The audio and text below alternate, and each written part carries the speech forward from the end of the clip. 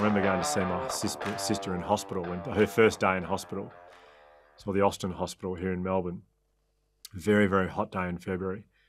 And we got home from the hospital, and I, my dad sort of left the dinner table very early, and he went and just started cleaning up. And I, I noticed he hadn't finished his dinner, and it was a bit strange.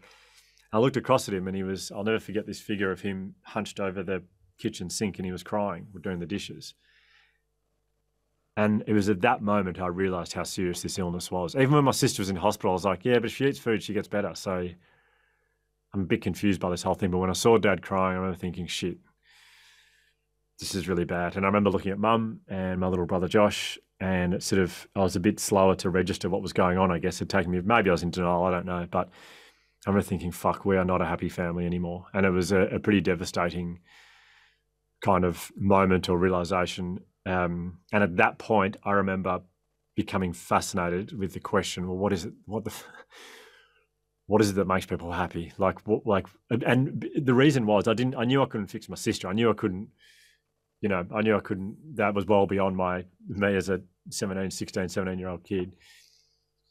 But I, I wanted to know what I could do to help mum and dad to feel happy and my brother Josh to feel happy. And and I had no idea. I had absolutely no idea. I, there were a few things I was doing instinctively that, when I look back on it, actually the reason the Resilience Project exists. Like I, I learned that mum and dad love stories. Like they love funny stories, and I, I, knew if we sit down at dinner, I could tell really funny stories or really wildly embellished stories about my day, and I could make them laugh. And if I did it as soon as we sat down, I could do it before the argument started about food because there was always an argument about food. You know, um, every single night. These like extremely awful fights about food. Dad would never usually join in. Dad sort of had his head down, looking very defeated. But Mum and my sister would just go at it, and I my resentment would build for my sister. But um, yeah, so that was when I was sort of 16, 17, 18. That all happened, and I thought, fuck, what do you do to make people happy? And I thought I'll I'll be a I didn't know what I wanted to be until that point. Then I thought I'll be a teacher. I'll go into teaching because then I could work with kids and help them not get a mental illness. I had no idea what I was doing, Mark. Like I wasn't there going, I had no formula back then of like, this is how I stop it. And I remember going to my first school as a teacher going, right, how do I stop these kids getting a mental illness? You know, they were 10 and I had no idea what I was doing. Um, I just, yeah, I was, I, I loved teaching. I really loved it. But I, the whole time I was teaching, and I know a lot of your audience will be quite entrepreneurial and um, very, kind I guess, business focused or career focused, for want of a bit of a term. But I remember back then, and a lot of people might, re, might, might relate to this, but I remember as a teacher thinking, this is good, but I reckon I've got a lot more to offer. I don't know what. Like, I have no idea what, but I reckon I've got, I reckon I could do something really big, but I have no idea what. And then I sort of fucked around for the next four, five, six, seven years as a teacher, this whole time thinking there's something bigger for me. I don't know what. Um, and my partner at the time, my ex, my ex, um, well, my ex fiance, she is, she was desperate to travel, and I was saying, "No, no, I've got to do. I've got to do something big. I don't know what it is. I've got to set up something. I don't, I don't know what." And she's saying, "Well, I need to travel," and and um, I always deep down felt like I wasn't quite good enough for her. So I was like, "Okay, whatever you want to do, we'll do that." And so we went and travelled. And I remember the whole time going, "I'm 28."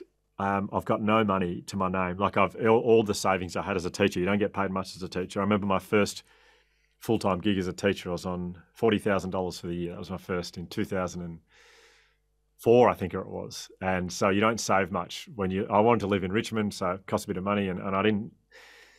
I remember all my savings went to this trip to India, and I'm like, what the fuck are we doing? Like, we're 28, we've got no money, and we're living in India. And then she said to me, we should do some volunteering. And I was like, fuck. Not only we don't have money, we're now volunteering our uh, expertise. like, this is just so counterintuitive to me. But again, she wanted to do it, and I, I wasn't good at saying no to her. And so Next thing I know, we're volunteering in the desert, in the Himalayan desert. In a, and I, they, they said to us, I was trying to get involved here and where we went because I was like, well, we can't, this is costing us money now. Like, we we want to save for a home surely, and we've got zero, and we're 28 years older. and my mates said, you know, they're getting these great jobs at the, one of the big four banks, or they're managers at different accounting firms, and they're physios. And I'm thinking, I've got no money, and now I'm volunteering. Um, at least I'm going to work out. At least I've got to like loser. You're thinking loser. Totally, totally. And I would yeah, pretend yeah. the whole time to my mates, I'm like, yeah, no, nah, this is really good. We're just we're volunteering here. And it's a good thing to do. But in my head, I'm like, I'm 28. I've uh, I haven't got a dollar to my name, and there's no, I don't have a job. Like I left my job to go and do this. So I was I was feeling I pretended I was fine, but deep down I was feeling deeply insecure about where I was in the world. Like I was like, oh, I'm going nowhere here. So I said, let's find a place that's going to look after us at least. So I did a bit of digging and found this village that said, yeah, you, you can live with the principal as long as you're here and you get three meals a day. And I went, oh, you beauty, here we go. I'm on the way up here. so, and I arrived in this village, and I'll never forget the feeling of shock that I felt when I arrived. No running water. So when water, you walk down to the river, half an hour, half an hour's walk. No electricity. Like, sorry, that's not true. They they had ele- electricity, but they couldn't afford to have it switched on in the village, and there were no beds. Everyone sleeps on the floor. And no toilets, hole on the floor. Yeah, yeah, yeah. There's a yeah. There's no toilets. There's like you, there's a. I was thinking about this this morning. Actually, it's funny you say this. You go onto the roof, and there's a missing floorboard or like a missing. It's like a mud brick home. There's a missing mud brick there in the roof, and whatever you're gonna do, go straight down into this hole, and it's like this separate room that faces out away from the. That's that's how you go to the toilet every morning, like through on the roof of this joint. You can see everyone else doing it on their roof. It's the weirdest thing. I remember the first time I went up there, I said to the principal, he goes, "Here's the toilet," and I was like, "Oh, so, sorry, so what do I, what do I do?" And he goes, "Oh, I'll show." I was like, "No, no, no, don't, don't, don't show me. Just explain to me what you do." Anyway, so that was me there, and I'm going, "Oh well, I've really hit rock bottom here. Like this, it doesn't get." I felt so homesick. I was like, "I just need to go home, earn some money." Anyway, my first day teaching in this school, and again, I'm sort of painting the picture for entrepreneurial picture because I think the path towards I don't want to say success, but the path towards fulfillment or in whatever you want to do in your life is often it's not what you think it's going to be, and often you feel like you're going backwards in order to go forward. So that's why I'm sort of telling these stories. But my first day in the school, I'm sitting there teaching the grade threes. There's no resources. There's nothing. I'm sitting there in a room. Kids are sitting on a dirt floor. There's a blackboard, one piece of chalk. There's no dust, and I couldn't get away the, the stains on the board. So I'm and what on earth do I do here? 20 minutes into the class, I remember thinking to myself, there was a kid sitting in the front row. His name was Stanzin. I remember thinking to myself, never, never in my life have I ever seen joy like this before. This kid's the happiest person I've ever met. I was just giggling. I was like, this? I was looking at, looking across the desert, going, there is nothing here. How the fuck is this kid so happy? I don't know what is going on. Um, the first week, uh, the first week went like that. I, was going to be there for a couple of nights. I forgot I wanted to go home early. I was so in love with this place. I was so in love with these people. Second week like I'm really going to be there for two weeks. And I said to my, I said to Angela, I said, I, I can't leave here. She said, No, neither can I. The reason I was thinking I can't leave was I couldn't stop thinking about Georgia, my sister. I was thinking, how is this possible? We grew up in a loving family, a nice home, went to very good schools. We had everything you ever needed growing up in life my sister's in hospital with a mental illness, or she was back then. This kid, or all these kids I was meeting, no bed. They have two meals a day, most of them. It's rice, just rice, nothing else. Sleep on the floor, one pair of clothes. I've never seen joy like it in my entire life. And so, long story short, Mark, I lived in the village for three and a half months.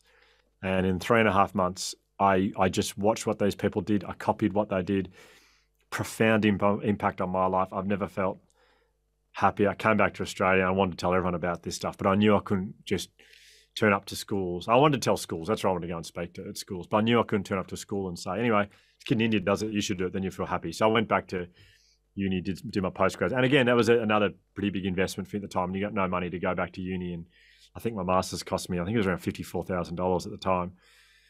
And but all I did for that masters was look at the research that sat behind these three things. Or sorry, I should just go back a bit. I saw three things that these people did every day in the village, and I wanted to know: is there any evidence that these things actually work? Has anyone done a not not questioning that they work for these people, but Australians are so skeptical. Like Australians are so skeptical of of people who stand up and say, here's a here's an idea for you. They want to know. So I looked at the evidence. It turns out there's 40, 50 years of science and research screaming at us. If you want to feel happier, these things definitely help. So that was back in 2000 11. Um, and I thought, right, very ambitiously, just quit. I just went, no, I'm not going to teach. I'm going to go and talk to schools about this stuff. And and again, I tell this story because I think people find it interesting who listen to you, Mark, and, and your fans. But um, I, deci- I decided, right, I'm going to. I didn't even call it starting a business. I, I just thought I'm going to go and start speaking at schools. And and my school that I taught at were. The school I went to keen. I went, oh, I'm on fire. I've got two schools already. When did his presentations, I thought they were great. And then I'd call the next school and they'd go, sorry, mate, who are you? I'd say, I just did this talk at this school. They thought it was good. This school thought it was good. And they'd go, yeah, so the school that you went to in your school, anyone else? Oh, um, no, you'd be the first. And they'd go, okay, good luck. Call us in a year when you've got some more runs on the board. No one wanted to hear from me. Like, no one wanted to hear. And it was just rejection after rejection after rejection. Again, I'm back to no money, um, and I'm single at that point because I hadn't worked out with my ex, and and I thought I thought I was a loser before. I was at age 30. Uh, that was me just going, well, I remember my 30th. I had quite a few beers and, and I was pretending I was fine, pretending I was on this great journey, but I was, I've never been so flat. No one, I had this business that no one was interested in. And every single time I got the opportunity to speak, the feeling it gave me when I actually spoke to these kids about this stuff and seeing the impact it had on them, it was enough to propel me for the next month to go, just keep going. My housemates lent me money because they are beautiful people who had faith in what I was doing. Um, well, not a lot, not a lot, but it was enough to help me pay rent and and get by. And then eventually, it started to gain traction. And and and I am in the most amazing position now where we have a team of 22, I think it is, um, which is still a smallish business, but there's 22 of us, and it's uh, we've got our reach is what makes me most proud. Though I think we've got now. Um, 340,000 kids every day around Australia do our curriculum. So it's a year long curriculum. Um, and we have um, most of the elite sporting clubs around Australia doing our program and uh, 580 businesses this year doing our wellbeing program. So yeah, it's a it's a we've come a long way, but it's it's funny, you know. Even just I've just loved even telling that story, just a reminder to myself that like the hard work that goes into it. You know, like the, I mean, no one understands it more than you, but the amount of rejections, the amount of times you think I'm not, what am I doing, and you question yourself, and and um, yeah, I I had an email the other day from a, a a lady up in Northern Territory, an Indigenous woman who just wanted to tell me um, the impact the program's had on her two kids who are, who are quite lost in their teens. But it's it's you know stuff like that. You just go like all the hard work, like all the self doubt, everything. It's all kind of worth it.